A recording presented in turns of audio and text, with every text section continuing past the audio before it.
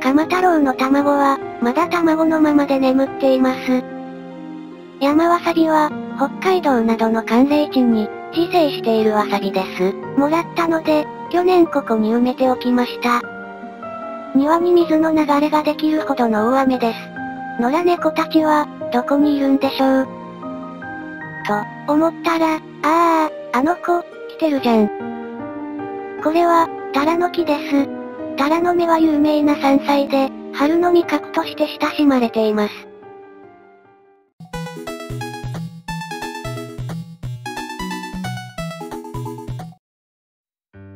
皆さんこんにちは。おたま日記です。こちら、鎌太郎の卵です。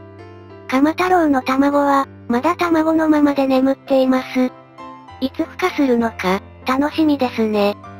今日も、日々変化していく、春の庭の様子をお伝えします。それでは、ご覧ください。さて、今日はまず、ここに来ました。今までご覧になってきた方はわかるかと、思いますが、ここにはカラス残照があります。これは、去年の10月の映像です。カラス残照は、アゲハの幼虫の大好物で、夏の間、ここにたくさんの幼虫がいました。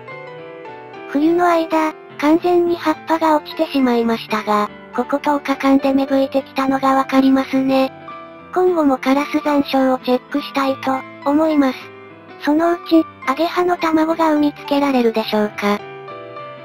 ちなみに、すぐ横に、もっと大きなカラス残照の木もあります。ここにもたくさんアゲハの幼虫がいましたね。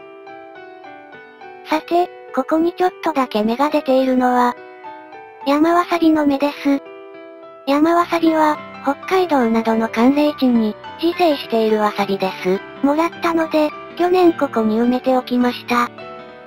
ちゃんと生きていて、芽が出てきましたね。でも、温かいとわさびの味がぼけてしまうようです。関東地方のここでもちゃんとできるでしょうか。楽しみです。いちごも花が咲いています。いちごって、実だけじゃなく、花も葉っぱも可愛いですよね。こうやって見ると、色々なもののデザインにイチゴが、使われる理由がわかる気がします。先日までつぼみだった水仙も、綺麗に花を咲かせました。おお、三つ葉が出てきています。私は三つ葉が大好きです。おひたしにしてもおつゆに入れても美味しいですよね。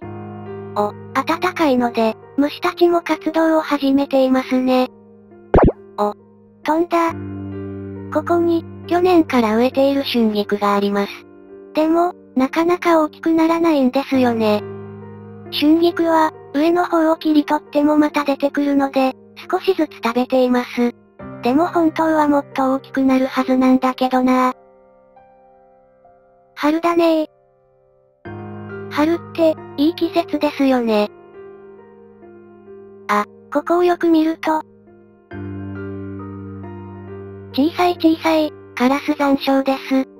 何年かして大きくなったら、ここにもアゲハが来るでしょうかね。楽しみですね。翌日、3月12日です。あ、来てるじゃん。また来てるじゃん。この子は、親戚さん、です。こちらをご覧ください。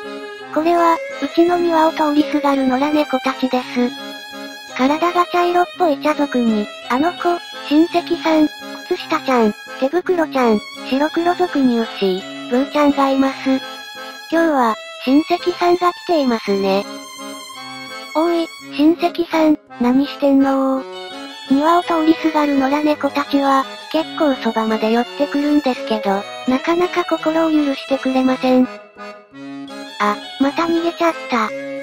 でも、まだそこにいますね。こっちのことを気にしています。あら？何？こうやって、近くに寄ると、少し離れるんですけど、何かを訴えるようにこっちの、方を見てきます。なんだよー。友達になりたいの？なりたいならなりたいって言いなよこの後も、少しの距離をキープしつつ、親戚さんはこちらの方を、見ていました。あら、やっぱり、近づいたら逃げちゃうのね。もう、恥ずかしがり屋だなぁ。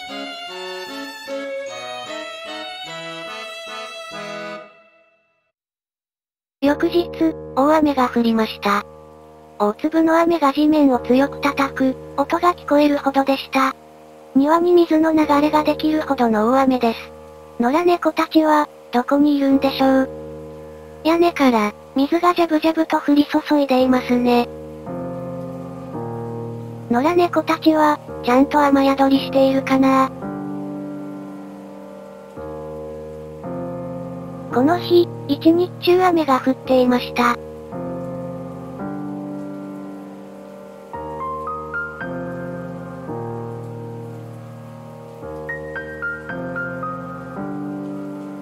ちょっと外に出てみます。うわぁ。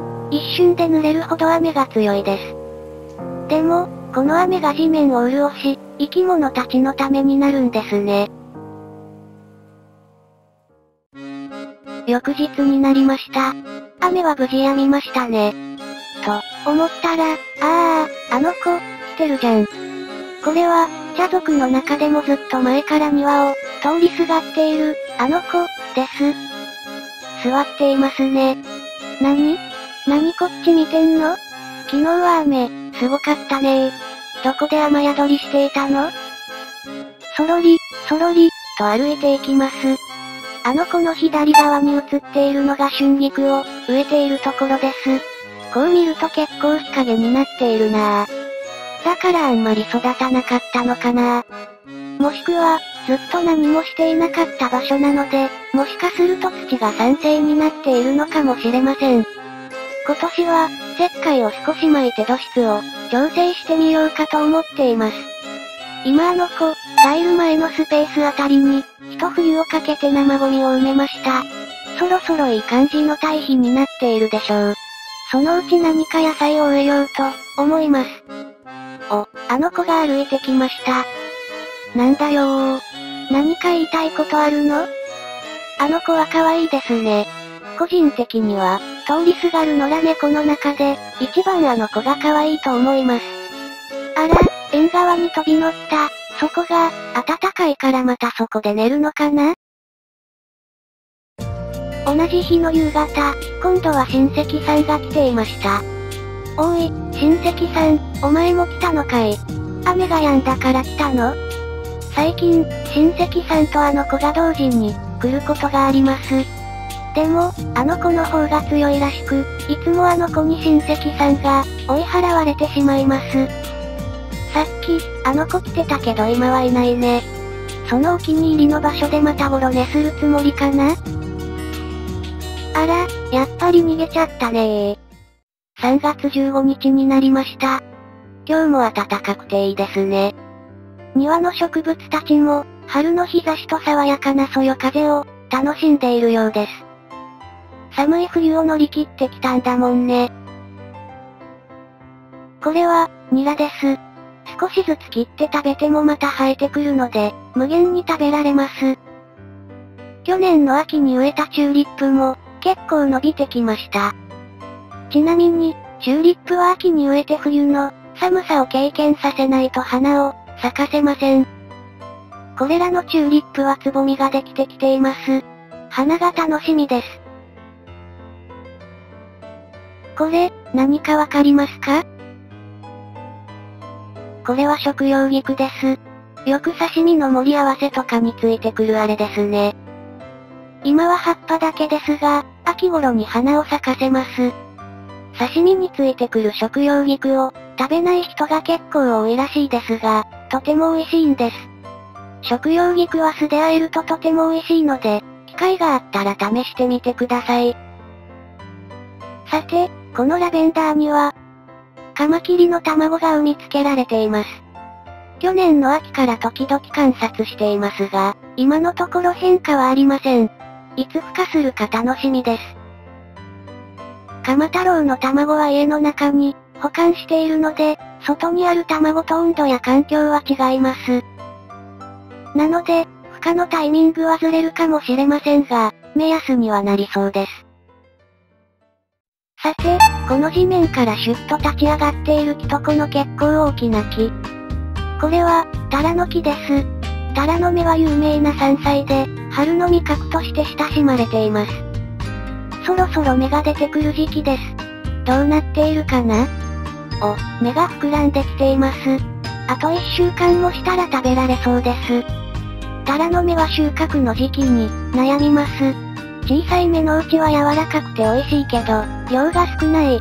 欲張って大きくなるのを待つと、成長しすぎて硬くなってしまいます。その微妙な見極めが難しいです。またそのうち、収穫したら動画でお伝えします。次回予告です。次回も鎌太郎の卵の様子をお伝えします。このように管理を続けていますが、まだ卵です。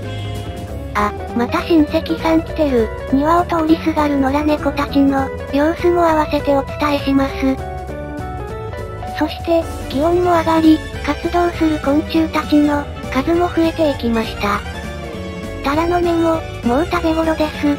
天ぷらで食べたら美味しいぞあ、ここにも立派なオオカマキリの、卵があるじゃん。